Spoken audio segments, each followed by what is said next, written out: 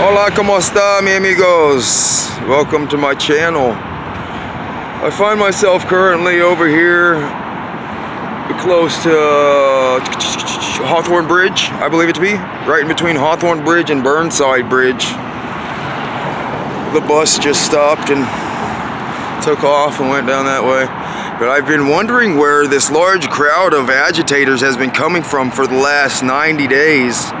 And I think I discovered where such a large crowd of agitators can house themselves and stage themselves for such a long period of time and still be able to be so close to the center of action every single night. This is a war encampment. A number of these individuals have been sent to Kenosha, but this is a legitimate issue right here, I would say. This is funded by the city, and what it houses is absolute anarchists.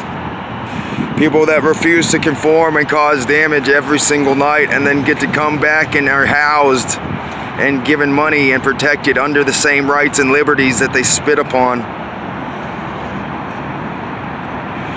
They have this privacy fence right here. They say it's an art installation actually. And so somebody was paid quite a bit of money. I will show you the sign here in a bit. Somebody was paid quite a bit of money to put this privacy fence in and it supposedly connects this housing unit with the sky, the river, and the, yeah, the Willamette River that's just right over here, and the woodlands.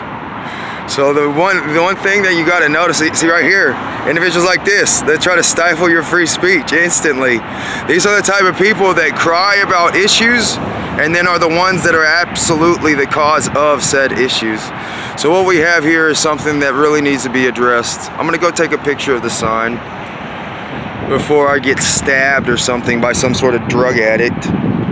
All there is is needles, needles, needles. It's, it's disgusting. Right there, violent. That's the same violence that they show every single night.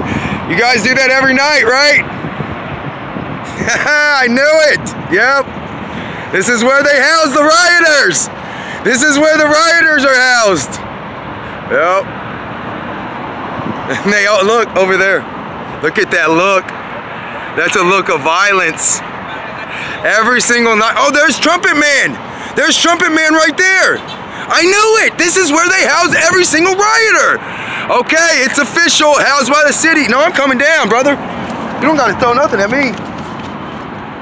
Hey, look at that. Man's about to shoot me with a slingshot. He's such a dumbass. Couldn't even hit a fucking thing right in front of him. Continue on. While I videotape this assault.